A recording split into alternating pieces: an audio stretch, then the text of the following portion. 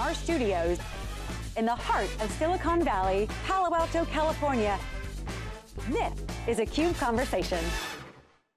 Hello everyone, welcome to this special CUBE conversation here in Palo Alto, California. I'm John Furrier, co-host of, the, theCUBE. We have two special expert guests here talking multi-cloud, Jonathan King, Vice President of Strategy, Data Center and Cloud for WWT, and Fabio Gori, Senior Director Cloud Solutions Marketing at Cisco. Multi-cloud is the topic. Guys are in the throes of it. Jonathan, you're, you're in the front wave of a massive shift. Mm -hmm. Cisco powers networks for all companies these days. So guys, multi-cloud is a reality, it's here. I want to get your thoughts on that, have a conversation. Thanks for joining us. Great, glad to be here. So multi-cloud has not really been debated. I mean, people generally now step back and say, multi-cloud is a reality. It's here, people have multiple clouds, certainly have data center on-premise, but this idea of multi-cloud and hybrid cloud are somewhat getting mixed up, but multi-cloud certainly is more realistic in the reality sense than anything else. What's your take on multi-cloud, Jonathan? So I think, I think we're at a point where there's a growing acceptance of multi-cloud as the architecture of the future. And when you arrive at that point, it also means that multi-cloud is the architecture for today. Because if you see your competitors, you see new entrants in your space, moving in a rapid digital pace to meet their business needs and you're not on the same kind of architecture, the same footing, then you're going to be left behind. So you used to debate private cloud, hybrid cloud, multi-cloud. The way we see it is that we're in this multi-cloud world and multi-cloud embraces an end-to-end -end imperative. How am I getting my apps and my development teams building those apps closer to my business and meeting my needs more rapidly? And then how am I connecting my entire business, my data, my network, all of it to meet that needs. So multi-cloud architecture is really an imperative. It doesn't mean it's the only thing. There's other elements in terms of having a clear digital strategy, thinking about how you're going to modernize your infrastructure, of course thinking about how you're transforming your security. All four of those elements really comprise a enterprise architecture multi-cloud being a core part of it. Fabio, Cisco, you guys have seen the waves of innovation, internet, connecting companies together through networking, et cetera. Multi-cloud's a big part of your focus, certainly at Cisco Live, we've covered that.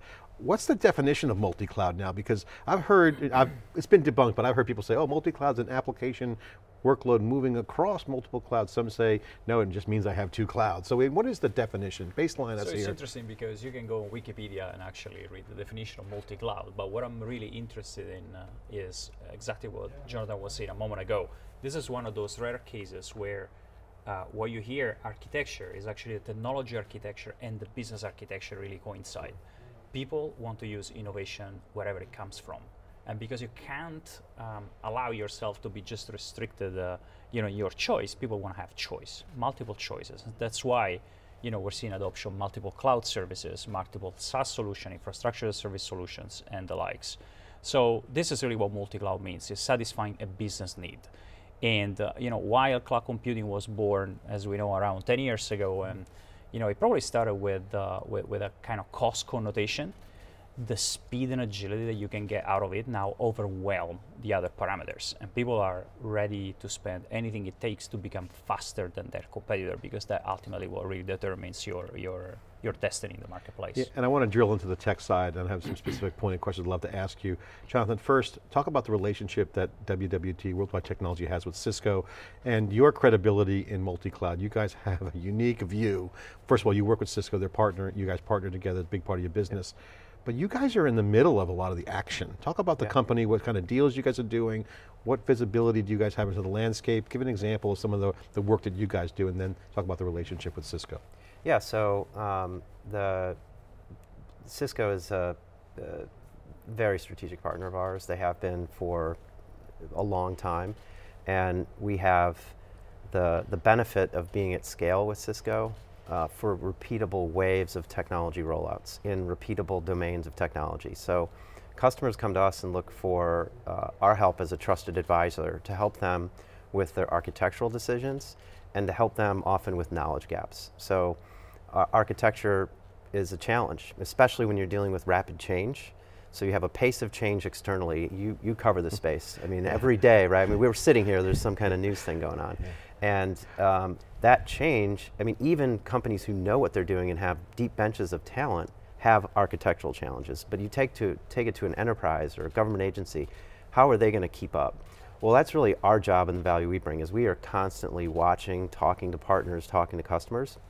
And you know, there's almost no, you know, no one we're doing that as closely with as we are with Cisco in terms of how we're watching trends, looking at what's happening.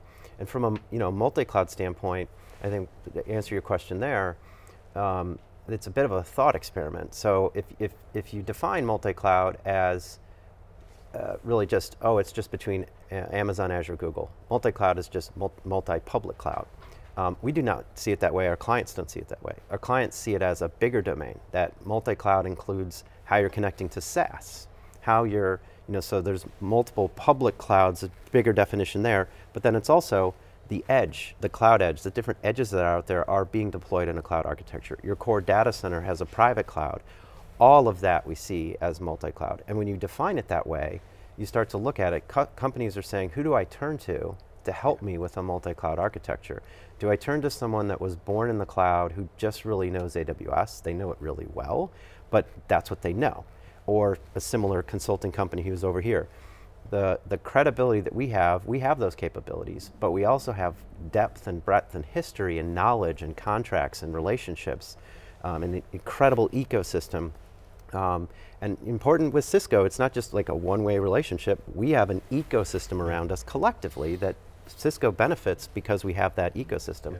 And that's really what, what companies look for. It puts us in a very unique position because we see this and world. It's not an or world. And I think yeah. even the, you know, the investments and movements that the public clouds have made recently, you know, the, the hybrid offerings that they're bringing and where Kubernetes is going to enable portability, yeah. all these things really are about a multi-cloud world and we're just excited about where we are. It's interesting, this, the first wave, Amazon, I call it the Amazon wave because they really kind of did take out the beach and, and, and public cloud, kind of showed the way of the economics and the, and the value creation piece. And you mentioned a, a few things that takes that point at this next big wave. That next big wave, I see it as about people and, and technology. Yeah. This holistic view around multiple architectures mm -hmm. is a systems concept, so it's, yeah. it's not unproven. Mm -hmm. And Fabio, we've seen this movie before in systems, operating systems, you need networking, you got to connect things together. So this next wave of thinking about workloads and applications in context to an architecture seems to be the next narrative that people are starting to talk about. Absolutely. Versus public cloud, because the people equation, who's going to run it, who's going to yeah. service it, who's the coders, what tools and APIs do I use, people behave certain ways yeah. and they like their favorite cloud. So it's a whole different ballgame. Your thoughts on the, what's driving all this? I would say, look, I mean, we could talk about this forever, but I think uh, we're seeing a, a, a, pretty dramatic shift into an architectural model, right? I mean, if you remember a few years ago, we had like networking specialists in the data center, storage specialists, and, and compute specialists. Well, guess what? People moved to full stack type, type of expertise, right? And, and now we even have systems that are completely converged or hyper converged. Well, we're seeing the same movie in the cloud, where uh, we're seeing the rise of cloud architectures, enterprise architectures, which become really the terminal of the business and these people, especially in the companies that are ahead of the game in terms of cloud adoption and expertise, these guys are issuing the new guidance and guardrails for the entire organization in terms of what governance model you need to take, right? And the other groups actually execute this kind of strategy. This is, you know, some people say, well, this is finally SOA coming alive, right? The SOA, service-oriented architecture. That's exactly what it is, without probably some of the um, uh, you know, kind of proprietary underpinnings yeah. or driven by, by certain, certain market players in the past. This is a true. So if you think about microservices and containers, that's exactly what it is. Yeah. And, and also, we're, we're seeing a lot of companies that are starting getting even organized by microservices, mm -hmm. which is the ultimate demonstration that the technology architecture and the business mm -hmm. architecture really converge. It's a fairly complicated concept, but in the end, it's about really connecting the business to the underlying And it's a shift that's happening in front of our eyes and we're covering a lot of the news, some notable news that we've been covering lately, the Department of Defense JEDI contract, that's in the public sector and military, uh, CNCF, Amazon reInvent, Google Nexus coming out, you're seeing, starting to see the formation where it's not about the cloud vendor or the cloud supplier anymore, as much as it is about the workload. So there's been a debate of sole sourcing the cloud, and that certainly, uh, we're seeing that on the DoD side, is more a military procurement thing. But that's not the right answer anymore. We're seeing that, that whole spread the multi-vendor love around is not so much like it used to be. It's different now, there's new architecture. So Jonathan, I want to go back to your multi-cloud architecture because I think the, the, strategic question that I'd like to get to is, it might not be a bad thing to pick a cloud, a sole cloud for his workload, but that's not meaning you're going to not use other clouds. Yeah. This is a whole different thinking. Yeah. So I can pick Amazon for this workload, yeah. or pick Azure for that workload, and Google for that workload, and yeah. holistically connect them all together. Yeah. Seamlessly. This is not a bad thing. Your thoughts? Um, I yes, there's a somewhat of a paradox when you talk about multi-cloud architecture, and then you talk about moments in time where it at, it makes architectural sense to pick one cloud, right? that particular decision, there's there's there's issues around um, people and training and technology and time to market and API coverage. So there's there's all these things that you you're trying to get a job done or a mission done, and the amount of time that you have to achieve that job or that mission, what what what path am I going to choose? You know, what what what engine am I going to put on the plane to like get me there? Now that that doesn't mean that that's the only engine you're going to put on your fleet. It just means that that particular plane is going to have that kind of engine, and then the next time. You got another engine. You got a different kind of plane. You, you, you're thinking about how you're you're doing these things in waves and modules, and you're trying to build your aggregate velocity because really it's if you strip it all down you know earlier we were talking about multi-cloud and people and talent we're in a distributed computing land rush. And businesses of all sizes government agencies comp companies are trying to figure out how do we you know electricity came along. Now cloud has come along. Right over the horizon cognification's coming along. How am i as an enterprise getting digitally ready and getting on a footing to be able to do what i need to do in that in that domain? And really, it's, it's, it's, it's about velocity movement. So now that doesn't, that means that that's why architecture is so important because you have to make, you want to, you know, people talk about one-way doors and two-way uh, doors. So you want to stop and think about, am I going through a one-way door or am I going through a two-way door? Meaning, do I have a way to come back? Do I, is this a decision that I'm going to live with? If so, how long? Is this a decision I can go through and I can come back? You know, these kinds of approaches let you let you look across it. So an example would be networking. So networking is a foundation to every multi-cloud strategy. So you have to think, today my network in many enterprises is still a campus branch architecture. Well, traffic patterns have changed. Even if you've just done nothing, your customers have moved. Like all of a sudden, you know, we talk to customers, we work with retailers, we work with all kinds of people, and it's almost, it is like global climate change. It's like global network change. Like the, the scale at which the clouds have arrived have changed the network patterns. So if you start to look at it, you're saying, well, what is a multi-cloud networking strategy? What, how do I need to rethink? Well, guess what? the, the campus, my headquarters, is no longer the hub it used to be. The hub is now at the cloud edge where all the other clouds are geographically aggregated. I need to move my network closer to that location. So we do a lot of work with Equinix in that context, right? So they they have and have built a business. So re-architecture is happening, and it's being driven by value creation, value shifting. Yes, it, it, it moving everything around. And, and, that's where, from a cloud networking standpoint, you look at that's a discussion where Cisco is so uniquely situated because they are the networking company. So you, they, have been through the generations and they've been through different changes of generations. You know, Wi-Fi did, didn't used to be Wi-Fi. Now it is, right? it's here. And now we're in this next paradigm where you know, cloud networking didn't used to be here, now it is. So what's the new thought process for cloud networking? Because it makes a lot of sense. You, can, you have to connect clouds, obviously networking, latency, yeah. Um, yeah. SLAs around moving things around from point A to point B, storing stuff as well. Yeah. Fabio, what's the what's the, the, the equation look like? What's changed? Uh, where do cu your customers go yeah. in this new architecture? Well, uh, you know, just just building on top of what Jonathan was saying before. First of all, the way that we architected networks, enterprise networks, WAN networks in the past, of course, is coming to an end. We need to rethink them, right? Um, the fact that users now uh, are going to use uh, an enormous amount of software as a service applications that don't sit in your data center means that constricting all the software in a single place doesn't make any more sense. But that's not just the traffic element. Think about all the intrusion detection, prevention, firewalling capabilities because you're moving away from that model, you need to start virtualizing also those security functions and distributing them all the way to the edge of the network. Yeah. And in, in some, some cases, you need to have them in the cloud as well. In fact, we believe that the best way is a fully distributed model where you have a choice whether you keep it in your data center or you put it into the cloud or even to the edge of the network. Again, you got to be ready for any kind of scenario. It's interesting how you know we're going to distributed computing, as you said, but everything else is getting distributed as well. Oh yeah. Your entire infrastructure needs to follow your application and data mm-hmm. wherever they go, A- and that's actually something unprecedented that we're seeing, uh, we're seeing right now. And you brought up cloud architects earlier, Jonathan, you mentioned it briefly, and this comes back to some of that, this nuanced point around cloud architecture. The, the procurement standards aren't driving what you buy, it's architectural workload dynamics are now telling procurement how we're buying. So the world's shifting from, oh, I'm going to buy these servers, I'm going to buy this gear, the approved vendors.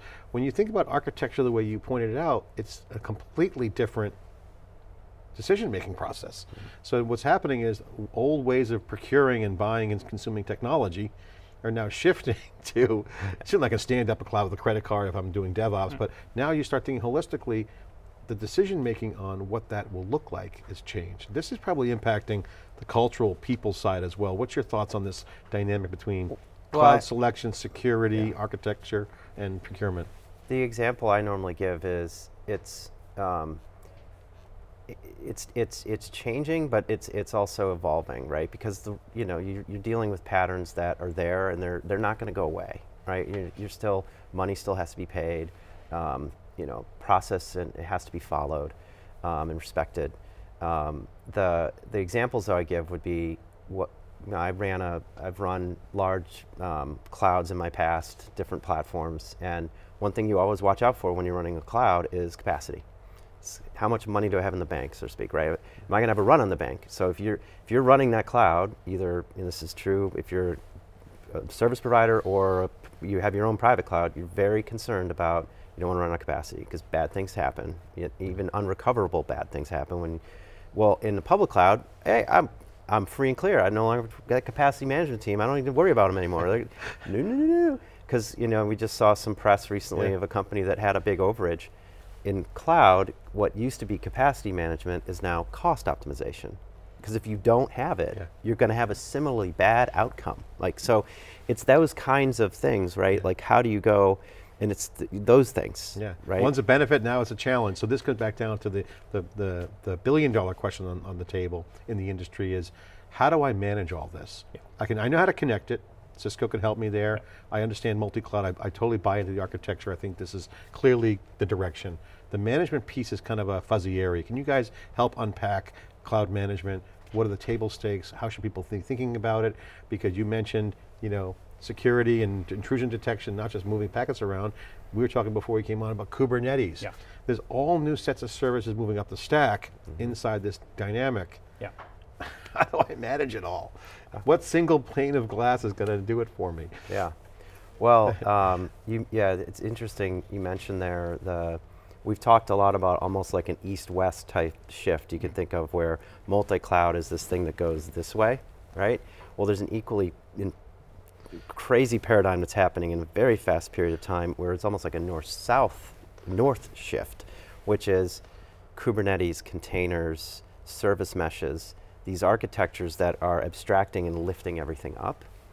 Um, and in some ways, coming underneath as well at the same time yeah. because now the, you have a return of bare metal. You have these concepts architecturally where the the VM is here to stay. It ain't going anywhere. It's still, you know, the tooling around is insanely valuable, but you have now another benefit layer at a container orchestration layer where um, there's uh, portability, speed, there's all these benefits that come. And um, you just look at the stats of how fast containers are growing as a share. You know, you're, you're approaching a billion containers out there now. Um, and the, that therein lies the challenge, is that it'd be enough of a difficulty if you were saying, I need to go from managing my private cloud the stuff I have at a, at a, at a cloud edge, at a, an, an edge location, and the stuff I have in multiple public clouds. That's not all we're saying. We're saying also you have a new tooling and a new set, and it's all software defined, and there's security network, there's data, there's it's just it's it's exploding. It's complex. So the area that we're working on and want to hear more from Fabio is, is we're we're innovating with Cisco on we have great offerings and capabilities around um, cross cloud and, and, and VM orchestration, we're also looking now at that Kubernetes layer.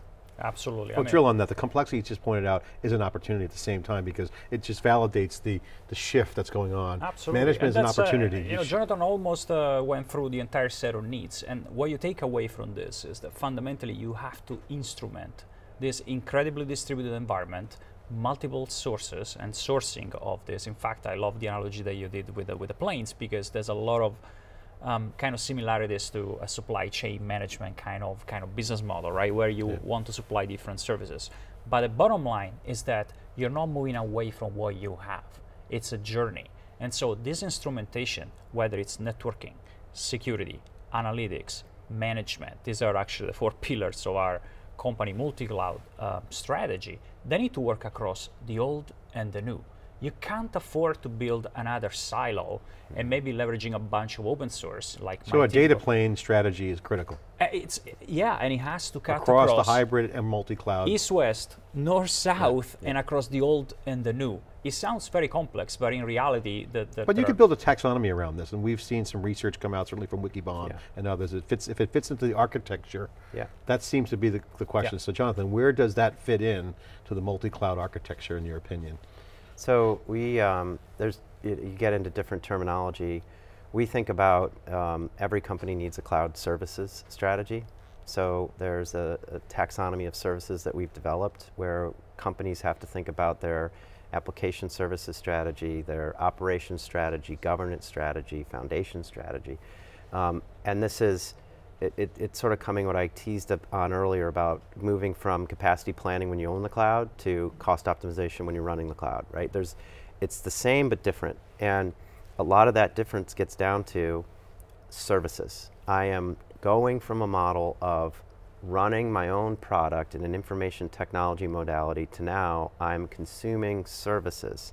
So I used to architect and design and build. Now I I have to architect and really understand those differences. And so that's our cloud services strategy portfolio. And what we often see is we also have a DevOps portfolio, and we shorthanded, you could call it cloud native, right? Yep.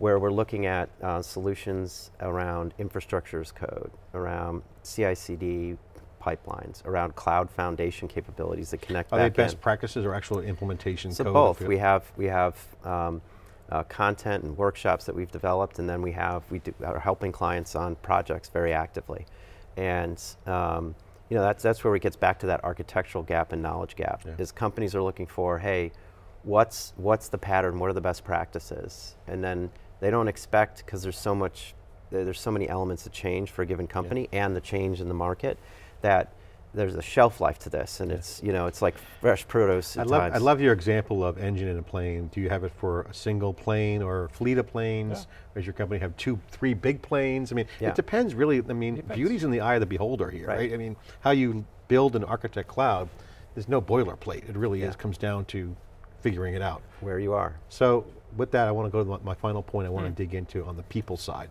Yeah. So technology shift, business shift, check, you guys did a great job there, great insight. It comes up every time I go to a CUBE event and talk about cloud, is the cultural people skills gap problem. Yeah. One, our company doesn't have the culture, or, or, and or, we don't have the, the skill and we don't have the people to run it. So yeah. automation certainly can help there, but at the end of the day, if you don't have the people mm -hmm. to mm-hmm. do this, how, because how do you solve the people problem? Yeah. How are you guys helping companies? What is some of the state of the art techniques yeah. What's out there? So um, I'll, I'll, say a little. I appreciate Fabio's perspective mm -hmm. too. I mean, for I think for us, really, you know, the, the, old saying, you know, culture eats strategy for breakfast. You know, the premise, the, the culture is more important than ever because really you're you're you're now moving into a, a mode where um, siloed organizations implementing siloed technology is is is enormously challenging. You, have to move, and that's where DevOps and other patterns come in, where the people who build the app are doing the operations. Um, storage and networking and compute and apps and the business, they're all talking to each other. So culture really is foundational so that a culture where you're not in, in, in making boundaries more rigid, you have to get to a point, and there's different ways to do this. I always recommend if people haven't already read the Phoenix Project, it's, you know, uh, it, hard to believe, but it's an excellent book, and it's a it's a fictional work about tech. You know, it's like a novel about tech. If you've I haven't read it yet. I'm going to get that. It's it's awesome, and and uh, it it really gets you in the mindset of an a, an organization going through change with an and it really. I mean, I'm a geek, so I like it. But Yeah. others, I've had other non-geeks read it, and they like it. Yeah. But it's um, that's the key. Is it's it's it's a um, So you really got to set the table and invest in the Yeah. culture, making sure it's culture is foundational. appropriately Culture is foundational, and then then there's other best practices that always apply, right? So, what what is your business vision? What is your mission? What are your values? What what are the objectives you're trying to achieve in a space and time relationship? How are you prioritizing? These are all things because then if you have the right you build around all that, then what you what you drive to is an outcome at a certain point in time, and and time's critical. Like the, you know, we're in a market that's competing on time. So if you are not hyper aware of time and what you're doing in a set point of time and the trade-offs and making changes if your assumptions are wrong, these are all things that are foundational. I want, Fabio, I want to get your thoughts. Chuck Robbins talks about um, solving the tech problems. Cisco's a tech company, you can solve tech problems all day long. Um, he's also behind the people skills. I've heard him publicly talk about it. But you guys at Cisco have actually had a great transformation with the DevNet, Yeah. DevNet Create community where you harness the culture and everyone's engaged around cloud, cloud native, and you have kind of a cloud DNA developing out of the core Yeah. network. Um, your thoughts and Cisco's views on culture and people solving the problem because we need, a, we need an army of cloud architects out there. It's not any So- people. Yeah. So that's true, but we carry an enormous responsibility in the marketplace as a vendor. We have to make things simple, right? Um, there's still, you know, most of the IT infrastructure is still very complex to program and automate and the likes. That's where we're putting enormous amount of R&D efforts, right? DevNet is like the tip of the spear in showing fundamentally our um, our very loyal, you know, um, CCIEs and everybody else that there's a there's a there's a better way to do things, right? Where you can actually really automate things together. You can get access to the APIs and simplify your life. You can simplify your life and the life of the business because you can get faster. So making things simple, automating them. I don't know if you think about, for instance, our cloud management or orchestration philosophy with the with Cloud Center. We have a patent where we can actually model the application once and deploying it wherever you want, right? We can deploy that application on-prem, uh, on, a, on a VMware mm, like vRealize kind of infrastructure. You can put it into AWS, you can put it in Azure, whatever you want. Kubernetes kind of target on-prem. That, that is simplicity, right? We have to drive simplicity. And for me, it's all about automation. And sometimes you hear things like intent-based architecture and infrastructure.